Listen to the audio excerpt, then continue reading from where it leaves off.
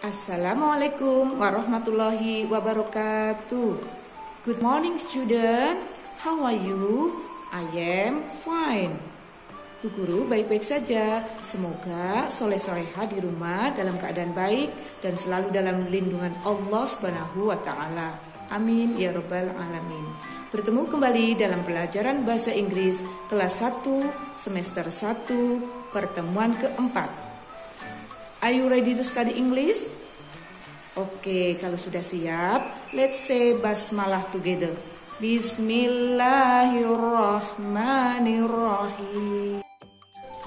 Adapun tujuan pembelajaran hari ini yaitu setelah mendengarkan dan menyimak video Bu Guru, peserta didik dapat melengkapi kosakata ungkapan salam terkait tema greeting dengan huruf yang tepat. Sebelumnya, kita ingat lagu kemarin ya. Oke, let's sing the song. Lagu yang pertama.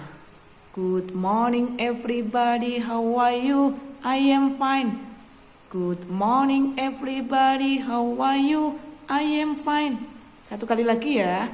Good morning everybody, how are you? I am fine. Oke. Next songs. Let's sing the song. Greeting, lagu yang kedua. Good morning, selamat pagi. Good afternoon, selamat siang. Good evening, selamat malam, selamat malam. Good night itu selamat tidur. Good night itu selamat tidur. Goodbye itu selamat tinggal. Oke? Okay? Hari ini kita masih belajar tentang greeting ya anak-anak, tentang ungkapan salam, yaitu melengkapi kosakata. Listen and follow me.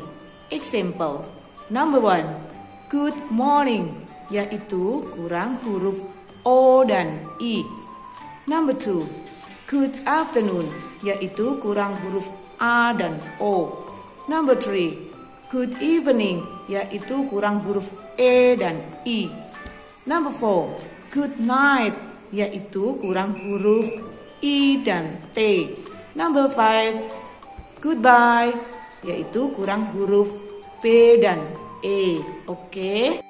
Next, selanjutnya, number six, how are you, yaitu kurang huruf O dan U. Number seven, I am fine, yaitu kurang huruf A dan O. Number eight, thank you, yaitu kurang huruf E dan I. Number 9, see you later, yaitu kurang huruf I dan T. Number 10, goodbye, yaitu kurang huruf P dan E. Oke, sudah jelas ya. Sekarang saatnya evaluasi.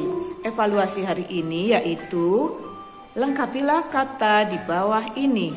Number one, good morning, yaitu kurang huruf. Number two, good afternoon, yaitu kurang huruf.